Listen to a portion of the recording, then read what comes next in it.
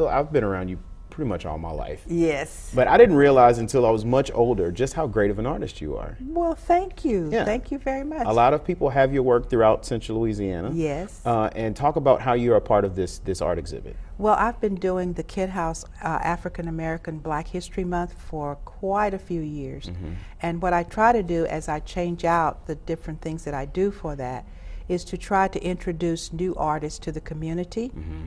And we also try to show a lot of uh, black history into that show. And we try to feature a black artist each time as well, along with uh, uh, Caucasians as well. Okay. But we sh- trying to show what this community have to offer you.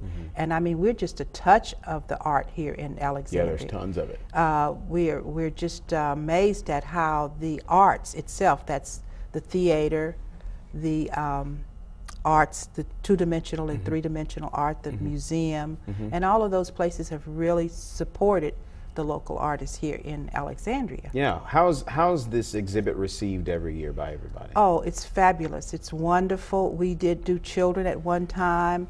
Uh, we kind of mix it up as we do it each year. We, we, I try to introduce new things to that. I want to also have some lectures coming up, hopefully next year, Great. in that month of, fe- of um, February, so that they can get a little bit of history where the classes, the teachers can bring their children to hear some things about what black history really is all about. you okay. know. Now you brought a piece for us. This is an oil painting. Uh, you did this one. Yes. Uh, talk about this piece. Okay, what I do each year, the Kent House have different events. And so what I try to do is paint some of those events to show what the Kent how busy the Kent House really Yeah. is. And I auction that off.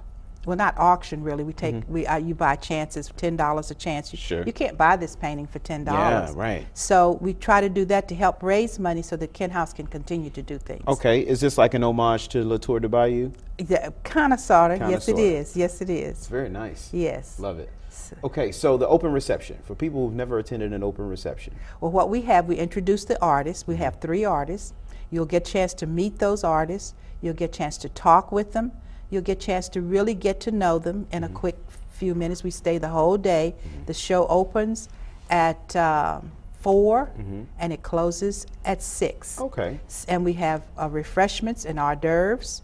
So you really get a chance to mingle, look at the art, talk to the people about the art, how they came about with their subject matters. We have miniature art for them. We have larger pieces. You can commission them to do things. Great. So it's really a chance in a lifetime to really get to know and communicate with a local artist. All right. It sounds great. It's uh, what date? January 29th. 29th, yes. Okay, over at the Kent House. And the great thing is, is there's no there are no cost for it. no cost. It's open to the public.